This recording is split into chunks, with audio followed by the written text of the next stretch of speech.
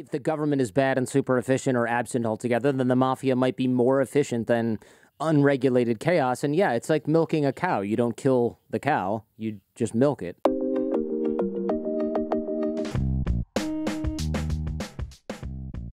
Kidnapping is a business, but most people think of it as, as just a crime right? And I think that's what interest me. I think that's what interested me the most about this kidnap for ransom thing is that it's almost like a self-regulating industry as opposed to a random crime that happens to unlucky people. The thing that really interested me about kidnapping and hijacking for ransom was how well ordered it was. I thought of it as, as, as a random thing, a one off thing, something that where you paired with somebody not of your choosing, you know absolutely nothing about them, and you're supposed to do a deal over somebody's life. And I thought, well, that's never going to work. And then I found out that A, yes, actually it works a lot of the time. And interestingly, if you're insured for it, it goes right almost all of the time. And I thought, how can you possibly insure for something that is so random and so criminal? And that's got me that got me researching into the uh, economics of kidnapping. How many people are kidnapped every year for ransom? Because it doesn't seem like the kind of thing we hear a lot about, but maybe that's by design as well. That's absolutely right. So there are probably tens of thousands of people who get kidnapped every year, and most of them we don't hear about because it's part of a local economy. It's you you kidnap somebody to get the ear of a local politician. You kidnap somebody to um, back up an extortion demand. That kind of local and local kidnapping, we mostly don't hear about. Um, what I was interested in were the uh, transnational kidnaps, and we might hear about a few dozen of them, but they're probably a few hundred every year. Wow. That's a lot more than people think. And that's a little bit scarier too. It makes you rethink your trip to Venezuela or or Iran. A little off the beaten path. I, actually, where do most of the kidnappings happen? Maybe they're not even in those countries. Maybe they're in places that we think are actually a lot safer. Well, it changes over time. Yeah, mm-hmm. so in uh, 2008 to 2013, uh, the big place was Somalia. Um, if you look at piracy at the moment, the, the hotspot is in, in, in the Gulf of Guinea. Um, there's lots of kidnapping in Nigeria. There is kidnapping in, in, in Mali. So Mexico's always been high for kidnapping. So, but it, it can be very, very localized. So it's not the entire country, but it's a particular area um, something that a kidnap for ransom insurer would call a, a complex and hostile territory. Mm-hmm. Eh, logistically, it seems like a difficult business because you need to find a live hostage that is also valuable and then bring them somewhere that they don't want to go. You have to keep them there, keep them from escaping, but also keep them from dying in the process of whatever you're doing, wherever you're holding them, and, and make sure they don't kill themselves by mistake or on purpose. So there's got to be lots of lying and violence, and then and then you have to get paid and somehow make a handoff also without getting caught or killed. Yes, that's something that I realized very early on that kidnapping is easy and ransoming is extremely difficult. And that is also by design. If ransoming was easy, if people offered big ransoms very fast and just paid them in Bitcoin, then we'd all be getting kidnapped all of the time. Yeah, it's it's about making that transaction difficult enough to put it beyond the scope of, of, of an opportunistic kidnapper. Mm-hmm. But on the other hand, make it work well enough that hostages come back alive. And that's a that's a very fine balance here. How many people do come back alive? You know, it seems like I, we just have no concept. The big kidnappings you see that get in the news that make waves and there's searches for months and things like that. It seems like usually there's not a happy ending to most of those. Yes, and that's a bias, reporting bias by the media. So overall, people reckon that that ninety percent of people come back uh, alive. Um, however, if you've got kidnap for ransom insurance, that goes up to 97.5%. So that's oh, wow. a really amazing result. And that's one of the reasons why people buy this kind of insurance because it is actually the best way of fulfilling your duty of care towards your employees. If something happens, we have a very good plan on how we're going to extract live and hale and hearty hostages from, from these terrible scenarios. How, how long are people usually missing? Because again, the ones you see about in the media, the person's gone for months or or longer. Uh, is that the usual case with kidnapping, or is there a quicker turnaround? Because it doesn't seem super profitable to hold somebody for two years. So, again, that very much depends on the country context. So, different countries develop different kind of equilibria. So, there are some countries where, where people are given back after five days for ten thousand dollars. Mm-hmm. Yeah, but then if somebody wants to have a newsworthy $1 million, $2 million, $10 million ransom, then they really have to sit on the hostage, possibly for years. Oof. And you're saying exactly the right thing there. It doesn't look profitable. That's exactly the point. You know, if you want to have a $1 million ransom, they want you to spend most of that money on keeping that hostage alive and safe in the meantime. Um, you'll have to share that million dollar ransom with a hundred people, at which point it's kind of not worth it anymore. And that's right. Oh, I see. So that's that's set by those paying the ransom, which is like, okay, if you want a high ransom, we have to drag this out so that the next time you do this, you realize it's not worth it to negotiate for an extra 18 months to get an extra $500,000 because you're just barely breaking even or, or whatever. Uh, and in the meantime, you're worried you're going to die and you have to sleep in a hut next to this guy chained up in the middle of the desert because you got to make sure he doesn't escape. So the idea is to make it cheaper and faster, but mostly at the same time, not cheaper and also expensive because otherwise, like you said, we'd all be getting kidnapped. So you, you almost have to, again, self regulate. And we'll talk about how this works a little bit.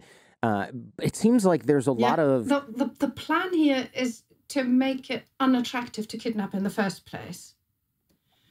So right, that makes people sense. think twice about is is this really the business I want to be in? Um, if you don't have that sophistication, if you don't have the jungle camp already set up, if you don't control the territory where the police never goes, you don't want to be in this business. So as I said, it's a really fine balance. On the one hand, you want to bring back live hostages, but on the other hand, you don't want to paint that bullseye target on every white corporate face that shows shows up in, in, in a particular kidnapping hotspot. You want people to think, I'd rather drive a taxi. Right. Yeah. No, that that completely makes sense. Yeah, you don't want to make you, you don't want people to get rich off of this quickly. You want the kidnappers to work and take a long time to get the money so that like you said, taxi drivers aren't going into kidnapping because it's so lucrative. They just say, "You know what? I make a similar amount ROI driving a taxi for 2 years and I'm not going to get shot by the police if this goes wrong." Uh, and and also the the people who are transporting goods or traveling, they don't need armed guards on every boat or in every car that's driving around doing business. So it becomes profitable, but only just a little, such that really only hardened criminals are doing this and they're almost better off getting a regular job. Indeed. And if you're dealing with a criminal organization or often a rebel organization, an insurgency, then you're in a repeated game. Yeah, so at that point, you can think about how can you make reputational solutions work? How can you create order in what is a very potentially very chaotic and extremely emotional situation if you're dealing with people who want to do this again then you can discipline them and you can say well this is not how we do business and you don't go back on your word and you don't torture hostages and it's about training your adversary about what the rules of the game are Right. Okay. So if I'm dealing with FARC in Colombia in the 80s, who's kidnapping, I don't know, a dozen people a month or whatever it is, I can regulate their behavior by not rewarding it economically. So if they if they send me an ear, I say, "Okay, well, now we have to do all this paperwork over here and we have to reevaluate and you've changed the game, so we'll talk in 30 days." you know, and we have to make sure that the hostage is okay. So now we have to send some medical supplies and we need to make sure that he gets. So it's just such a huge pain that they go, okay, no more ears, guys. That blew up in our face.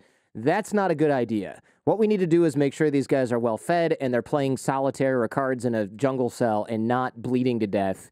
And we're we don't need blood transfusions in the middle of the jungle because they want to. This is like you said, a continual thing. It's like selling donuts you don't sell somebody a donut with a rat tail in it if you want them to come back to your donut shop. You have to sell them good donuts at a good price. And so kidnapping becomes one of those almost like a commodity, like a, a, a, good that has to be in good shape. You have to have good business practice. You need those five star Yelp reviews for your jungle prison.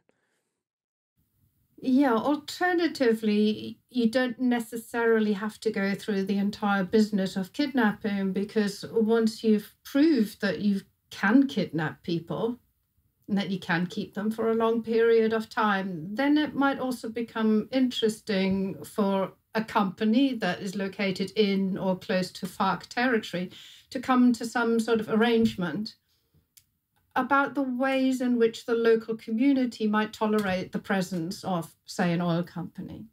Okay, so instead of kidnapping executives, you say, every executive needs this special pass that we give you. And the way you get that is you pay us $2,000 a month for every white face we see roaming around here in a nice car. And if they don't have it, something might happen to them. They might get pulled over, and then we're going to have to deal with it then. But if you pay up front, we're good. That kind of thing. So, extortion, basically.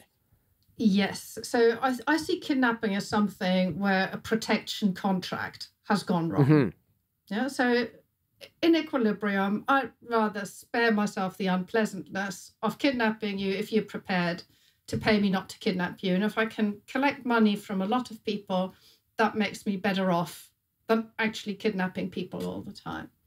Um, it's not going to be quite as easy as sending a check to FARC headquarters every month because clearly the national government ha- might have something to say about that.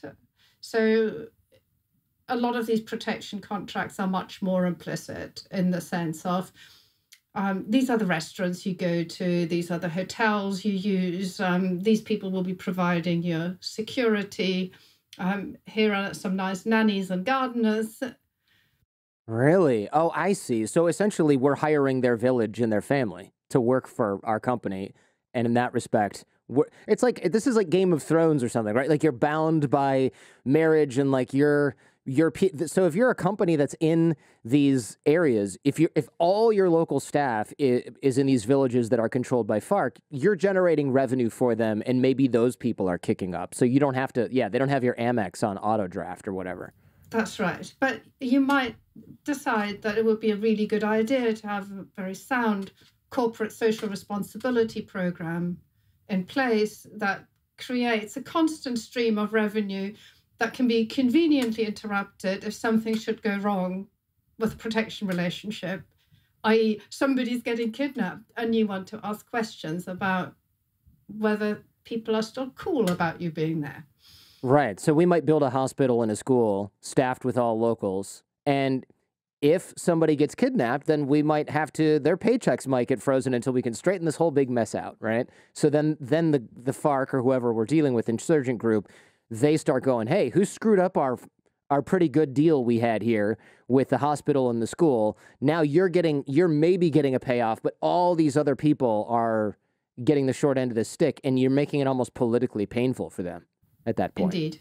Yes. So interesting. Kidnap insurance is almost all about creating effective protection, making sure that on the one hand, the people who go into these territories don't make themselves vulnerable to, to the opportunistic kidnap because with an opportunist, the taxi driver that just goes rogue, things are likely to go wrong because they don't know the rules, they don't know what they're doing, they're nervous, they might just shoot. And that's right. not what anybody wants. So if you do go into into a difficult place, as an employee of a company, then you, you would get quite a lot of training about how do you move, how do you plan your route, how do you plan a different route every day. Um, make sure you're in the fourth floor of the hotel and not on the ground floor. Lots of really easy ideas that nonetheless make it very difficult. for, for somebody to just pick you off the street. Oh, interesting. So if I get kidnap insurance, I actually get some training on keeping amateurs away from me. That's right. And then we only have to deal with the top end. And with the top end, if something goes wrong, we have a plan. But ideally, it doesn't go wrong because they understand that they want us there. Right. Okay. That this this is all starting to make sense. A friend of mine got kidnapped in Colombia. He just told me the story yesterday, and it wasn't recent, but um, he got kidnapped by, like you said, a taxi that went rogue. But the problem was these guys were idiots and amateurs, and they were originally taking him on an express kidnapping where they take you to an ATM and they make you dump your money, and then they keep you till past midnight and give you a beer, and then they take you back out because your limits are reset. You run your cards again, and then they drop you off somewhere near where you can walk back without getting killed, hopefully, uh, to your hotel. And then somehow his phone or they got they got wind that he had like an IRA, a retirement account here in the United States, and it had like 50 grand in it. And they were like, "Oh, you have all this money." And he's like, "I can't get all that money to you in once. It's not like something I can pull out with my card." And they're like, "Well, you have to call your parents." And he he's trying to explain to them, "You can't just get an IRA to send money to this and it's going to take several days and blah blah blah." And they didn't understand that because this was like an amateur group of drunk idiot almost like young kids, but uh, a gang nonetheless that did this professionally, and he got rescued by the Colombian special forces. So, and and the guys were surprised because they say this doesn't really happen anymore. You know, usually you go to an ATM, they dump you off, and we just you maybe you file a report, maybe not, maybe you don't even bother, you just go back home to Germany or whatever. And this was particularly dangerous because these guys were drunk, high, armed, and they didn't really have a plan it seemed like every guy that came in to talk to him said, you know, we're going to kill you. And the other guy's like, we're not going to kill you. We're going to wait like three days and get a bunch of money. And the other guy would say, no, no, no, we're waiting for your parents to wire us money. And he's like, oh crap, I'm going to die because these guys don't know what the hell they're doing or what they want. Yeah, the, the express kidnap is exactly the response of a, a rational opportunist who, who has done the deed and has kidnapped somebody and then says, and now what? And they might call somebody. If insurance is involved, the insurance will coach the family on how to deal with this. And really, the main response is exactly what happened to your friend. You stall. You just stall and say, okay, well, you, you, you can have like $500, you can have $1,000 now, but what, what do you expect us to do? Um, all our money is tied up. We're mortgaged up to here. We're we won't be able. There is snow on the ground. We're not going to be able to get to the bank before Tuesday. Yeah. Yeah. All of these things that, that say this is going to be difficult. You can have a very small amount of money now, but if you want anything more than that, then you've got to wait for at least a week. And it's all designed around making the opportunist realize that they've bitten off more than they can chew. You discussed something called protection theory and how this controls the industry, and we just sort of touched on this a little, but it limits violence as well to avoid making people flee, which erodes your tax base. So if I'm an insurgent group, I don't necessarily just want to kill everybody that's doing business in my area and take their money. Can you speak to how the mafia has and organized groups have figured out how to skim without bleeding everybody dry? Protection theory says that there are a lot of spaces on this planet where the state just does not project power. And yet, people have a desperate need for their property rights to be protected, for their families to, to, to be safe, for their investments to be safe, for trade to be ordered, that there's somebody you can call if something goes wrong and they will adjudicate your disputes. They will make sure that your trade partners come up with either the money or the goods. So if there is no state, then people usually come up with grassroots solutions yeah, and it, it could be a, a, a, religious court. It could be it could be a, a, a religious a, a, temple militia. Um, hmm. It it could be it can be a rebel group. It can be an insurgent group. It could be people who say, well, we would do this much better than the local than, than the than the government over in uh, in, in, in Mogadishu. Here we're better off just listening to what our elders say. Yeah, so it can be a tribal system, it can be a clan system. Lots of countries have come up with different ideas of how best to regulate the local economy. So these groups are there. Some of them are mm-hmm. armed and some of them are not. All of them have a credible threat of employing violence if people don't keep to the rules. Yeah, so if a foreign company becomes interested in doing something in that area, they will probably have to make some sort of deal, which is effectively a protection deal with the central government. But they will also have to say, okay, how are we going to keep the local people on board? That they're happy with us. I mean, there, there are certain things that you could possibly protect and have really good perimeter security around. But if ever you're thinking about producing something and exporting it through a pipeline, then you definitely need to have everybody along that pipeline happy with the presence of that pipeline in their territory. And they need to protect it, and you need to encourage them to protect it. But you also have to make, as I said, a protection contract that doesn't make your uh, shareholders or an investigative journalist sit up and, and, and say they're paying extortion money. Right. Right. So the the mafia, and we'll just say mafia, even if it's a militia or, like you said, a, another type of group. So the mafia, it's not just violence and theft. They're actually providing services to the market in places with, would you say, failed government or failed rule of law, like either a mafia controlled or failed state like Somalia or a, a wide swathe of jungle where the government and authorities don't quite reach into, like what the FARC was controlling. They're providing services there that maybe just they're just filling a power vacuum almost. That's exactly the idea. And the original mafia in Sicily was about a place where people were suddenly presented with lots of opportunities in terms of property rights um, because uh, church land was, was, was sold off and nobody to protect it. And then they said, well, who, who are the strong people around here who can make sure that nobody gets into my orange grove, etc. So that's where the sort of demand for protection comes from. You need then need somebody who's trained in violence, who's willing to protect instead of producing themselves. So they obviously have to make some money from this. So that's that's the argument of protection theory that once you start getting into the nitty gritty details of how trading actually works, you find that there are lots and lots of sandpaper moments where it's good if there is somebody you can call. And um, if it's not the police, because the entire island of Sicily has got 15 carabinieri on it, then you need a local solution.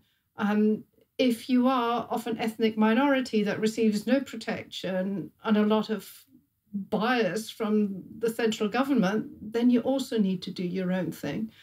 Um, if the a different tribe is in power and they don't like your tribe, you need to find your own solutions. This is such an interesting aside here because I lived in Ukraine a long time ago in like 2002 or maybe even earlier. And I, one of the, I met an American there who was just kind of like a, I'll just, a drunk. I'll just put it that way. He was a drunk who hung out with the mafia guys, and he was an English teacher, but he was kind of like those a guy whose life probably didn't go super well in the United States, and he's like, I'm going to move to Ukraine, right? So one thing that he told me was, don't ever talk to the police. Pretend you don't understand what they're saying. Never get in the car, and if they try and force you in the car, just run. They're not going to like shoot you. And I thought that that is crazy. I would never do that in the United States. And he's like, trust me, don't get in the car. So a friend of mine he uh, I tell him the same thing, and he's like, "Dude, I'm not doing that." Uh, the police yelled at me the other day because they they're outside the place where I'm staying. I'm not doing that. I don't want to get in trouble. So he got into a police car, and a couple of days later, when I saw him, he goes, "You were totally right about the police. They made me get in the car. I explained that I didn't really understand what was going on, and they just robbed me and took all my money. And then they m- made me get out of the car and like walk. And now they're always asking me for money, and they're always following me around, and they know where I'm staying, so I have to move. And I thought, wow, this is a re- this is really bad. So So I talked to my friend, the English teacher, who was a drunk, and he goes, Oh, you need to meet a few people. And so he introduces me to these other kind of like punk drunk mafia kids. And they're like, if you have any problems, call the number on your mobile phone that I give you on this card and just pass the phone to the police.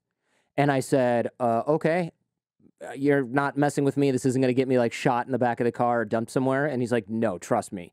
So I gave that card to a friend, the friend who kept getting in trouble. And he goes, I didn't even have to call the number. As soon as the policeman looked at the card and saw the handwriting with the number on it, he just immediately left me alone because probably there's a very limited number of people who write down a phone number on the back of a card of, of a whatever barber shop or whatever the hell this card was for and say show this to the cops. It's like if you have the guts to call, to show that to the cop they don't need to double check the number or make a call. Like you're talking to the right people. And so i thought that was very interesting because yes we talked about a power vacuum when the state has failed but this is where the state it hasn't failed and there are police. They're just worse than criminals or they are on a different criminal gang that is on a lower tier. So if you're dealing with the higher tier mafiosi the lower tier criminals aka the police they won't mess with you which was to me kind of backwards and fascinating coming from the united states. I, I agree but clearly the police have failed in their job of protecting, of providing genuine and meaningful protection to people. What what I like again is is that that non-violence of this. That there are certain things that you don't need to test because the threat is credible. Whatever these uh, guys had done previously had signaled to the police that it was better for them to back off, and um, yeah, super interesting if the government is bad and super efficient or absent altogether, then the mafia might be more efficient than unregulated chaos. And yeah, it's like milking a cow. You don't kill the cow, you just milk it, even if it's a little bit, I suppose, unhealthy at that point. It's like an, an inefficient externality in the economy. It's less efficient, but it's not so inefficient that everybody's out of business because otherwise, again, that long term view of business is hey, you should only extort to where the person can still survive. Otherwise, they'll just stop working because there's no reason for them to continue. That's right. Yeah. People won't invest, people won't specialize. I mean, there, there are places where you don't have protection and they make you cry because the only thing that you can grow is something that's called bitter cassava and this is a, a, tuber that lives a long way down in the ground. So even if somebody comes and razes everything to the ground and burns your fields, the tuber is still there. You can, it's backbreaking labor to get it out of the ground. Um, then you spend hours trying to peel it. Um, you have to, to then grind it down. Then you have to water it, dry it, grind it some more, water it, grind it. It takes like 18 hours to make a meal from it that's what you eat when you don't have anybody protecting you.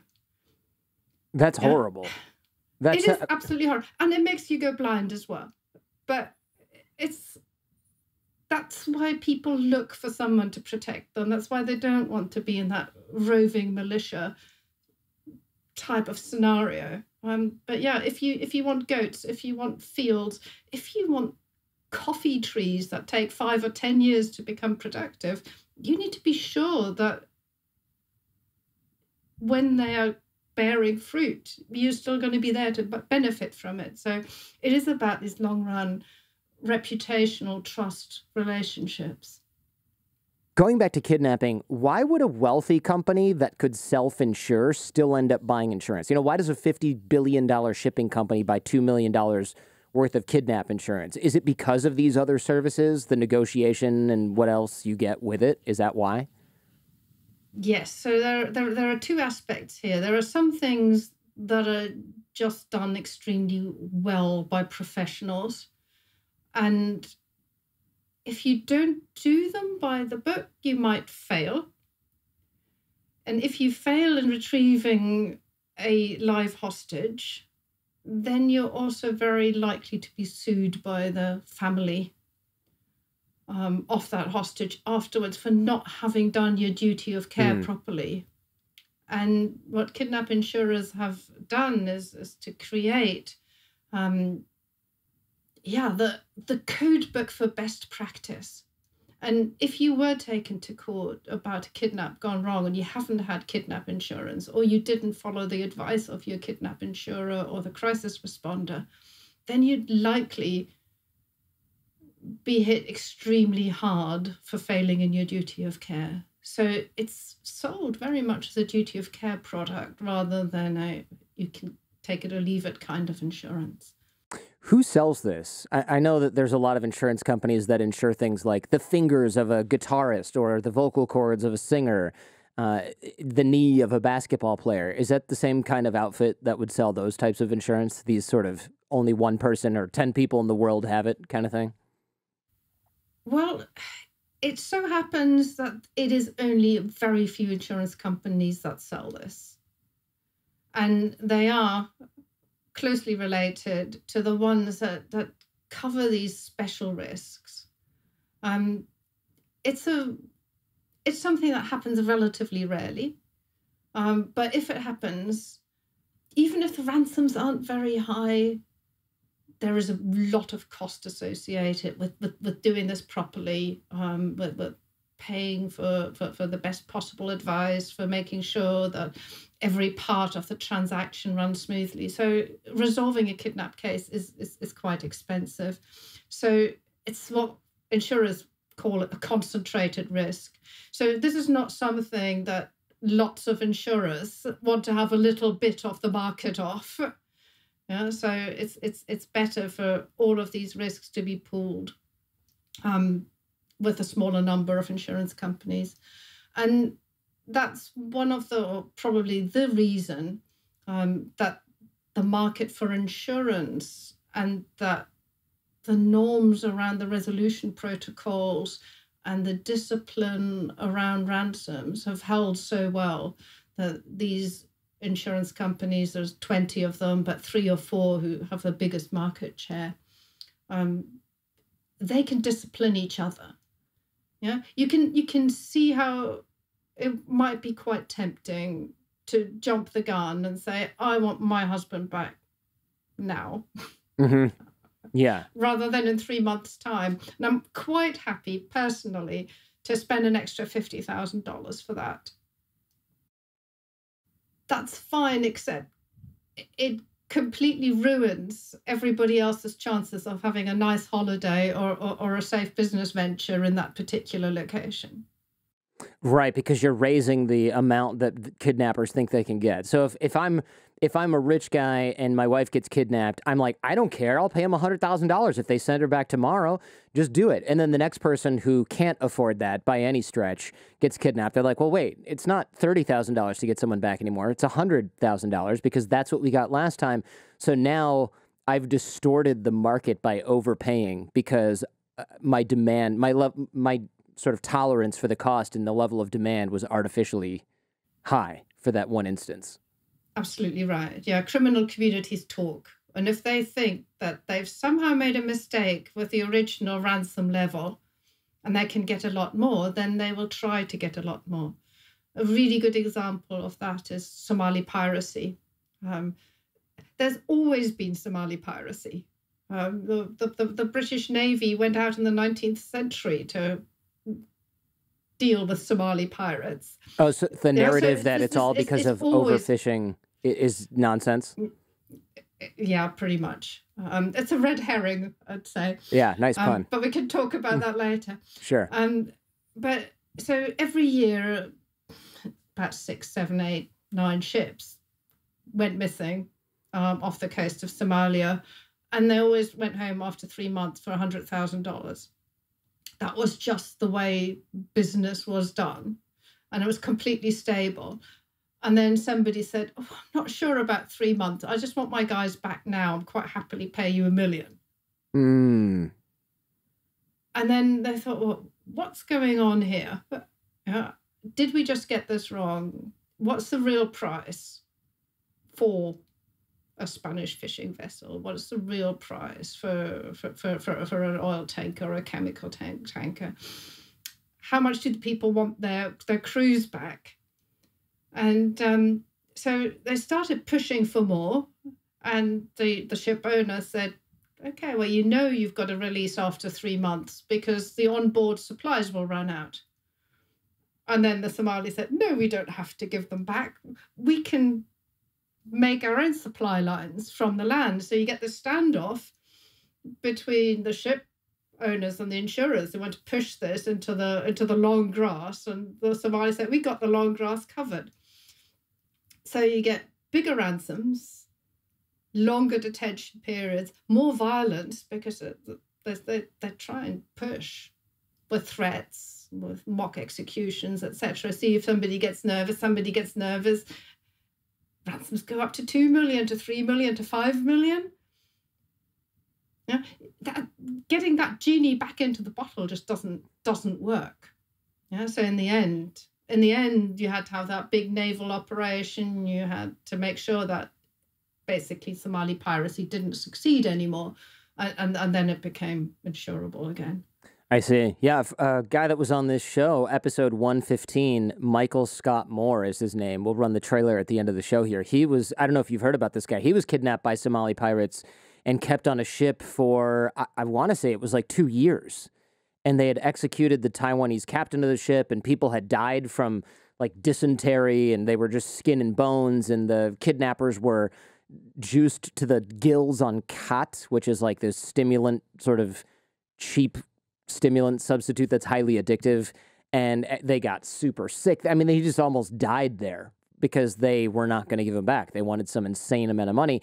And uh, it turned out later that the government actually knew where he was the whole time, but they just can't go in with Navy SEALs and rescue every hostage, especially uh, when they're on a boat like that. So he stayed there. It was, it's a kind of a horrible experience uh, and story, if you think about it, because while we're talking about economics, there's still somebody in a ship who doesn't have their diabetes insulin or their glasses or both and is possibly dying because we're dragging this out so that the next guy who gets kidnapped actually has a better chance at survival. It's a little bit, it's a tough pill to swallow.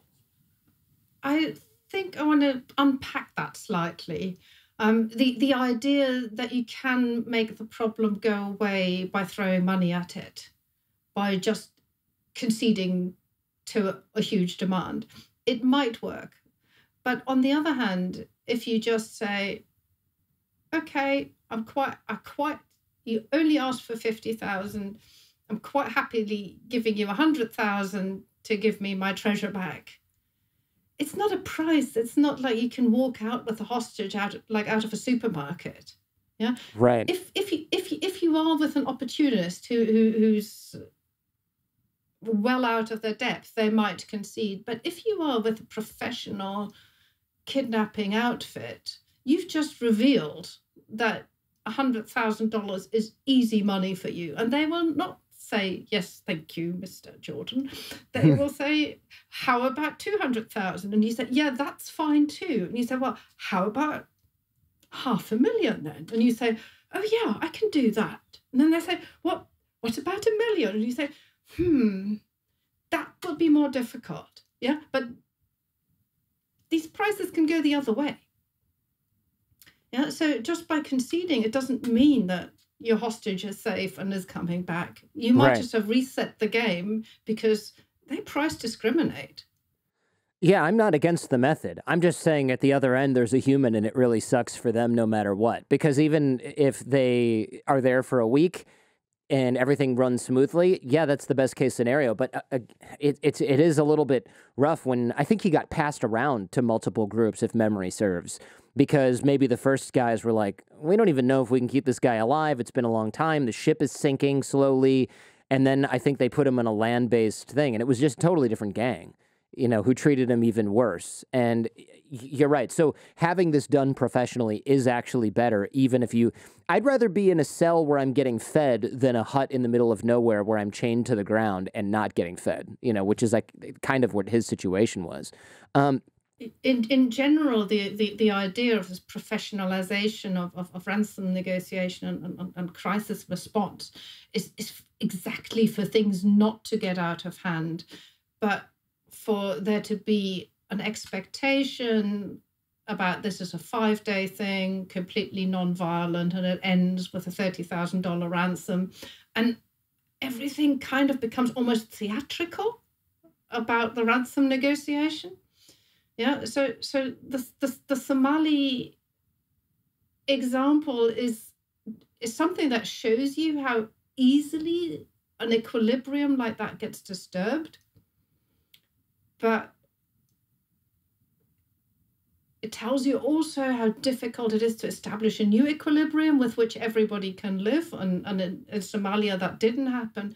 But yeah, the Somali case and these ever extending and ever more violent um, negotiations and, and, and, and, and resolutions exactly what we're trying to avoid by clamping down on that first opportunist who starts to think kidnapping is easy. You tell them, no, it's not easy. It's going to be really, really difficult unless you've got everything in place. You better not do it. So patience and slow negotiations actually end up lowering the final hostage price, right? Because they're they're uh, is the insurer trying to to drag it out in terms of time, or is it more just resistance to negotiation? Uh, it seems like time is really what's unfortunately on the side of the negotiator. Like the family wants the guy back quick, but the insurance company wants to stabilize the market, right? So there's a little bit of a I don't know, would you say competing interest, but it actually it's still in the best interest of the hostage because they're not going to. Well, I don't know. Is it? Maybe you should answer that. I don't know. I'm going around in circles in my head here. It's very easy to go around in circles on on on that. I, if you think that you could actually get the hostage back by paying more, then obviously it would be nice for the hostage not to be, uh, not not to spend the extra time in captivity. But as I said, by signaling to the uh, captors that you do have money, um, you probably make things worse for the hostage because even if the captors are not able to hold the hostage, they often have the chance of selling them on. So a negotiation goes wrong when you say, "Oh, this is a million dollar hostage, but we're not million dollar cap captors and hostage takers. Um, we're just a lowly militia. We're going to sell the hostage on, and, and you you find that a lot. Yeah. So if you've got a million dollar hostage, somebody will probably buy them for, for, for 50,000 and then they'll sell them on for 100,000. Um, if you look at the the path of various hostages uh, in, in, in Syria, they've been traded multiple times. Yeah, so, so there's nothing to say that the hostage will do better by saying, I'm a high value hostage. Uh, quite the opposite. Daniel Levin was on this show a, a, while ago, and he negotiates hostage release in Syria. It's one of the things that, that he does. I, I wouldn't say it's his job full time, but he gets called on to do this quite a bit. Episode 617. And he said that media will make things a lot harder because it, the first instinct is to like go to the media, go to your senator and tell them what's going on and that they'll pull all the right levers. But what that does is it just drives hostage value up big time. And then either, like you said, they get sold off to a different group. It's suddenly Al Qaeda wants to know where this guy is, rather than the two guys who kidnapped him in a fake ta- fake taxi, and they'll go and buy him or steal him from the amateurs. And now you're in bigger trouble because ISIS or Al Qaeda has you or something like that. And and then also possibly the propaganda value of you as a hostage might outweigh any money they can get because if your ransom was thirty thousand before and then it becomes a 100,000. Well, maybe ISIS wants to make a video, unfortunately, of you meeting a, a disgusting end that they can put on CNN, and that might be worth more than $100,000 to them. And so now you're you st- you're sitting there until they can ascertain your real value, which might take months or years. And then as soon as they sense that your value is dropping below the propaganda value, then we end up with a horrible video that you know w- we can't unsee.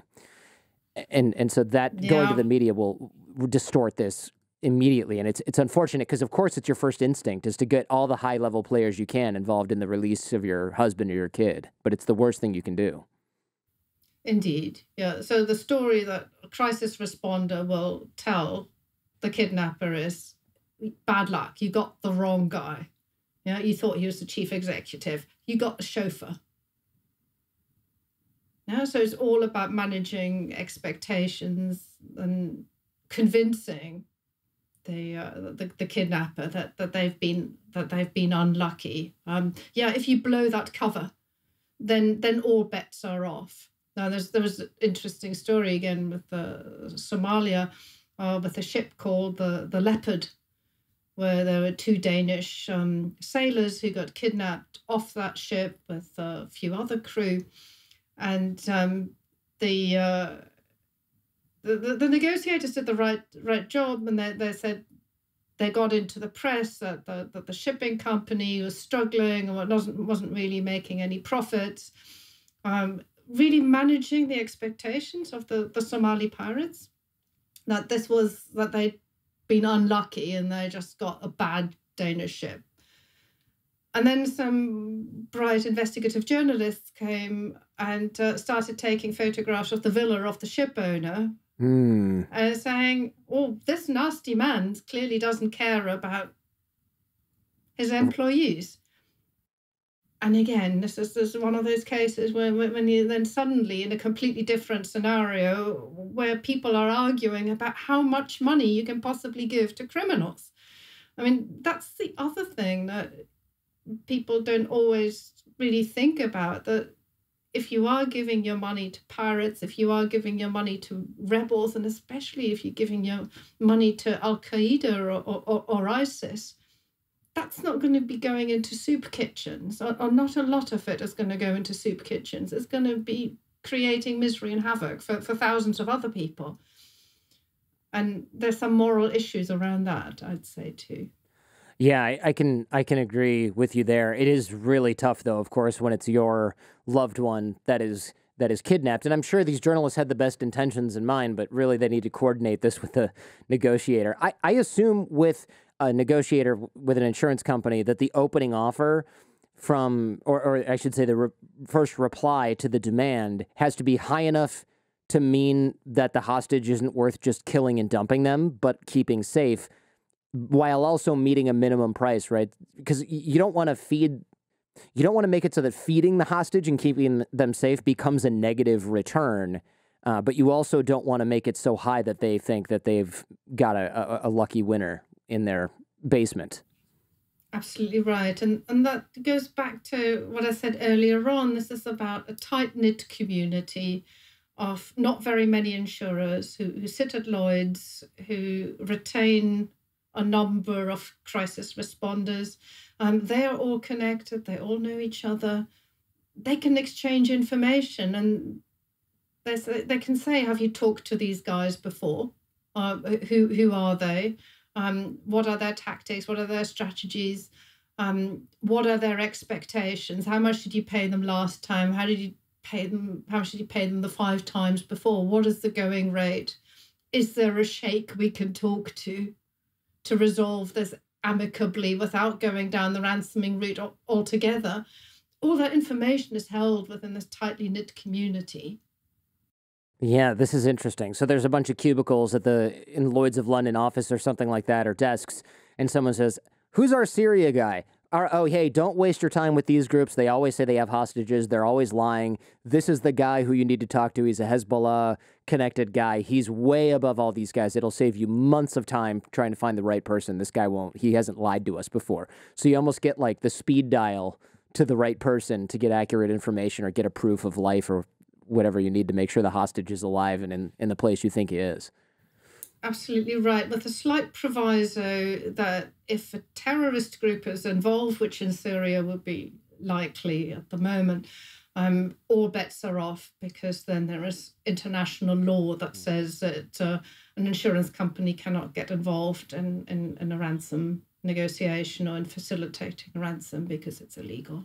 Right. What do you do then? I mean, the, do you just break the laws or some way around this? You need plausible deniability, I guess. Ooh, very pragmatic. Um, well, one of the reasons we have seen all those horrors around ISIS hostages and Al Qaeda hostages is exactly because you don't have the disciplining effect of um, these professional crisis responder, but you push this onto the desk of some bureaucrat who's never run a ransom negotiation before. And he's just told that the Italian prime minister wants these two nurses or charity workers back at whatever price is necessary. And that's again when you see this massive ransom inflation because the bureaucrats just don't know what they're doing. And it's very difficult for them to say, oh, the Swiss government can't afford 4 million francs. Right, right. yes, so all, all of that management of expectation around you were talking to uh, a, a, a family with credit card debts and, and, and, and a hire purchase car. You can't tell that story if, if you've got a government at the end right. of the line. Right, this makes sense. So it's better for the kidnappers to think they're dealing with the family. Hey, look, this is a family. We don't have insurance. The oil company's not going to cover it. They don't care. So that keeps the ransom lower. And it's like, look, I can take my kid's college education money and give it to you, but that's literally all we have. We've already moved in with my mom. But yeah, if you're talking with Senator Carl Levin or something like that, it's going to be harder for him to say, look, we just don't have the cash. The United States, man, inflation. We can't get you that, that money. Sorry, buddy that's going to be impossible and, and not believable. Or, or even if you're just Shell Oil, you can't say we don't have the money or that's too expensive. You really have to play the part of we have no backing here. I'm just a negotiator doing these guys a favor. Uh, or I'm not even a, maybe well, not, not, a negotiator, not, just doing these guys a favor. Appear. They don't even appear. The negotiator sits in the background. You, you oh, get the, un- the uncle to run the negotiation, ideally and yeah if you if you are shell then you've got a problem. But if you can say well yes they're kind of working for shell except they're not quite with shell but they're uh, some subsidiary. And the subsidiary is having an absolutely terrible time with shell because they're not making any profits at all. In fact they were about to fold anyway. So if you can push it down that line that that that also sometimes work. Or you say yes maybe the big company does have um, insurance for its top level staff, but certainly not not for the local staff. Yeah, so so it's it's it's always about pushing it down, but that doesn't obviously doesn't work if if you're in that international terrorism United Nations embargo against terrorist finance kind of territory. And and and then you know government can choose or can choose to react or, or not react. And and then we have the scenario that you were describing earlier where it was more profitable for for isis to kill brits and americans because every time they did so the um, french and the italians and the swiss and the danes doubled their offers. Mm-hmm. So you end up being the sacrificial lamb that shows that they mean business and they know that the US won't negotiate with terrorists so they just go all right these people are worth nothing alive so we might as well kill them to get everybody else's attention. So that's the first step is they just kill you. Yes. Yikes. That's yeah. exactly what what what happens. Not not necessarily they have no value but if you say okay american families if they wish to rescue their loved ones we won't stop them from doing a private deal, then, then they're still in the tens of thousand dollar territory. But if you kill them gruesomely, you might raise somebody else's ransom by a million and then.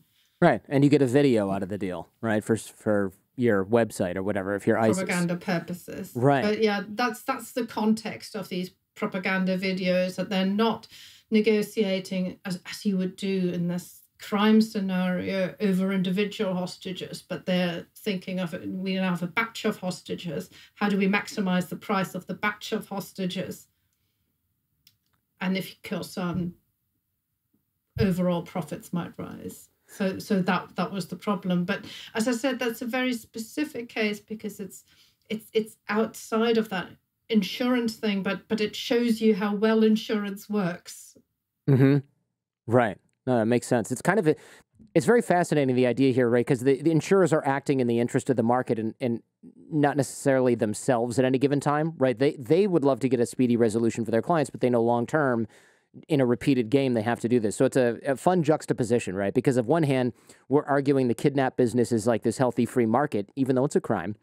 And on the other hand, The insurance, which is legal, you have to regulate it like a cartel for it to work long term by sort of forcibly pushing prices down. If you were doing that with grain or something, you you would probably be in trouble, but it's almost like a loophole where they're like, well, it's criminals on one side and we're dealing with human lives, so we're maybe going to not enforce the rights of the kidnappers to charge as much as they want for human lives. And in this respect, private governance and the free market is better than governments negotiating this because like you said governments might want a speedy release which is super expensive and then ends up funding terrorists and criminals at the end of the day.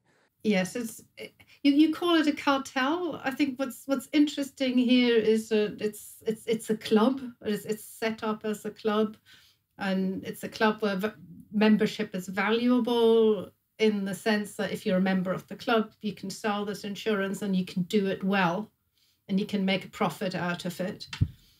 Um, but you're, you're right. We're, we're, we're trying, we, ha- we have a club that regulates the price for hostages. It's driving the price for hostages down, um, which is exactly what you want. I mean, in, in, in a way, ideally, in an ideal world, you'd have enough formal governance for kidnapping to become impossible. Mm-hmm. And yet here we are. We, clearly, clearly, we don't. We don't. Right. So what what is the second best solution? The second best solution is that we regulate the price of insur- of of of ransoms so that we see very little kidnapping without spending any money on police enforcement do people who are insured for kidnapping know that they're insured? Because it might, you know, they say insurance can change your behavior in some ways. It's really interesting. Um, it's not something that you can buy in general. It has to be bought on your behalf. Um, if you know that you're insured and you tell your kidnapper you're insured, the insurance is invalidated. Oh gosh, don't make that mistake then. Oh, absolutely right. But that's that's exactly because we don't want people to sit with their kidnappers and say, I'm really valuable. I'm insured for a million. Yeah. That's that's the last thing you want to tell them, given that maybe the local price is at thirty thousand dollars. You don't want to give them the windfall. So whoever does that immediately loses their insurance, which then makes it easier for the negotiators and the family to say, yes, we did have insurance, but unfortunately, because you told you were told that there was insurance, there no longer is insurance, and therefore we're back to square one. You're talking to a credit constrained right. Okay, that doesn't actually have any money. Right, this makes sense because if if they don't know that they're insured, then if the kidnapper says, "I know he's got a ten million dollar insurance policy," then you go, "Well, I know that you don't know that because even he doesn't know that." So you can't know that this Shell executive has it because he also doesn't have a clue. And by the way, I assume that as soon as you go into a really dangerous place as an executive from an oil company with kidnap insurance, they take you off the website, right? Because it would be a real shame if you say, listen, man, I'm just an administrative assistant. There's no big bosses in the country. And they Google you and they go, isn't that you at the top of this giant pyramid of people? And it says CEO or uh, like regional head of business, Venezuela. Is this not you? And you're just like, damn it damn it, about page, you've done it again.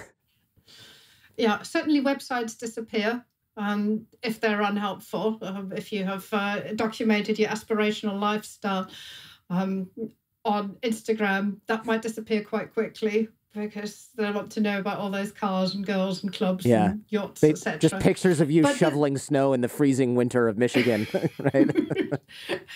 However, obviously, with the CEO, you would create wraparound security in such a way that it's impossible for anybody to take that person. Yeah, so you go with close protection, and you make sure, as I said before, that there is local support for the CEO to be visiting.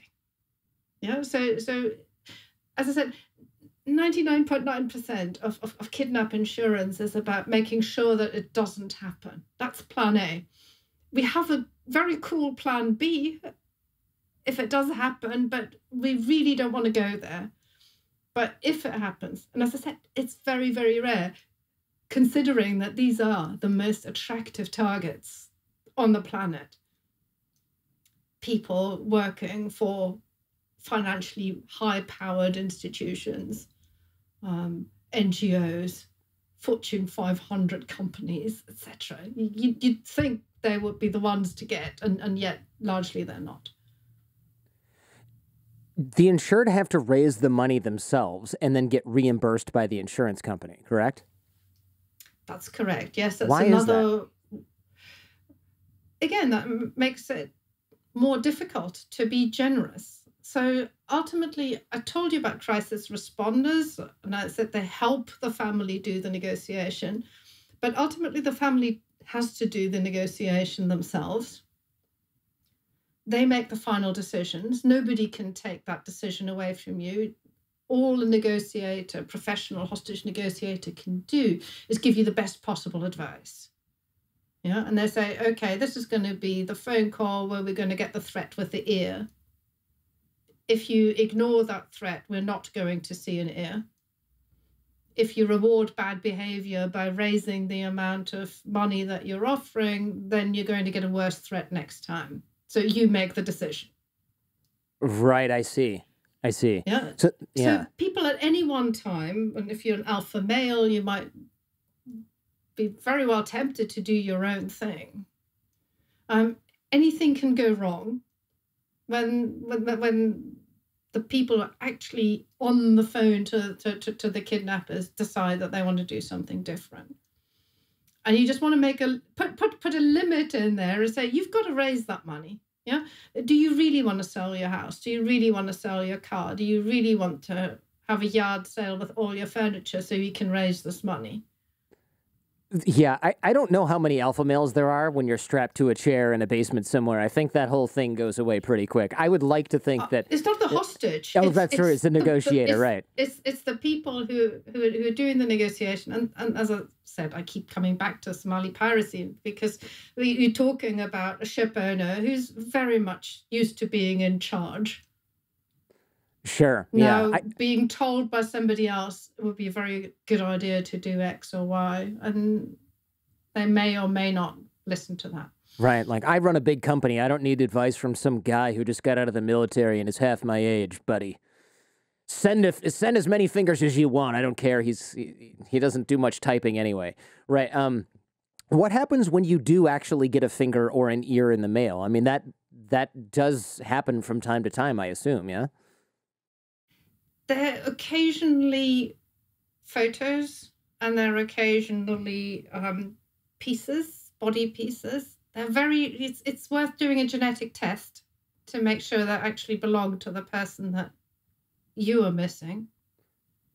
I suppose you're right. That's a very, that's sort of a ridiculous. It reminds me of that movie, The Big Lebowski, where he says, I can get you a toe by 3 p.m. today with nail polish.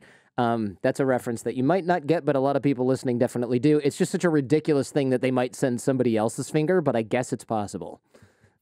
Yeah, and if if if you were in this business and you don't want to you don't want to kill the hostage. Yeah, I mean, piece of a finger you probably can manage the trauma and the possible infection, etc. But it is a risk. So, and generally, these threats are only acted upon if a previous threat has been successful. Yeah, so it's this negotiation strategy is about not rewarding bad behavior, and they, they don't generally start with cutting off bits. They start off with something something less. And if you say, "Oh, please just stop it! I can't take it anymore. I'm going to double my offer," then then you go down that route of escalating the violence. But as we discussed before, if if if, if you say if you're threatening this kind of thing, I don't think I can really continue this conversation. Um, you need to stop whatever you're threatening to do or you're doing, and we we need to. We, we, this is a business. Yeah, you want money. We want our hostage back. We're willing to give you as much as we possibly can, but we're, struggling to raise the money. Yeah, you can you can see how that conversation can be you know dragged back to something that's that's cooperative and about business and, and, and about money rather than about reacting positively to threats. I mean, any anyone who has a child knows that that bad behavior, if you reward bad behavior, you're going to see more of it. Mm-hmm. Right. So you you bring the conversation back to the the logical dollars and cents as opposed to yelling and screaming and violence and react screaming and reaction to the violence and things like that.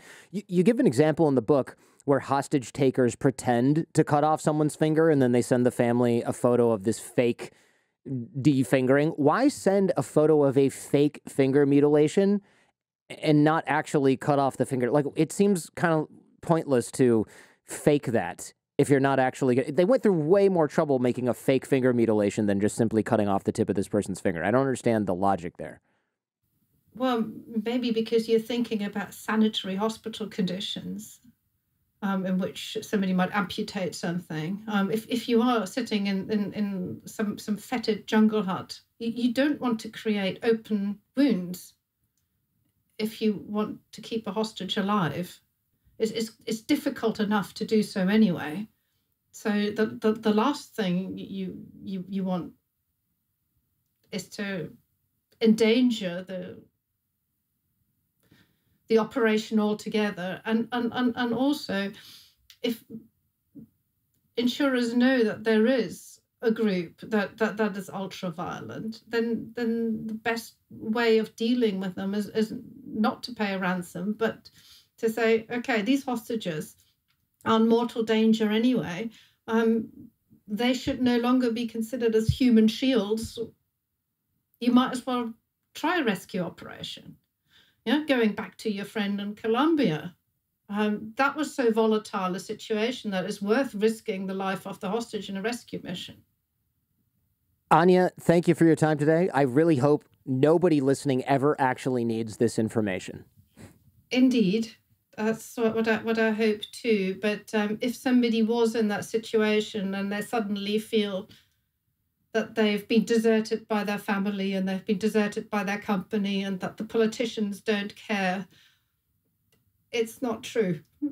They care. They care deeply. Um, it is about creating a story that will manage the kidnappers' expectations to get them home as fast and as safely as possible without rewarding crime and creating all the moral baggage of um, buying your life at the expense of other people's safety.